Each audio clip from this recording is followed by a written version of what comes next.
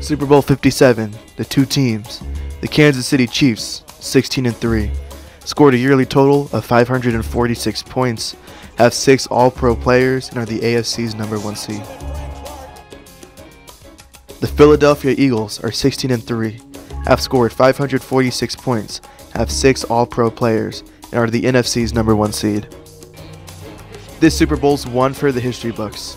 The first time two black quarterbacks have started against each other.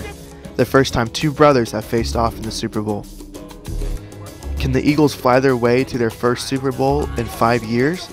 Or will the Chiefs slay the birds and have Mahomes' second ring? It will all be decided this Sunday, February 12th, 5:30.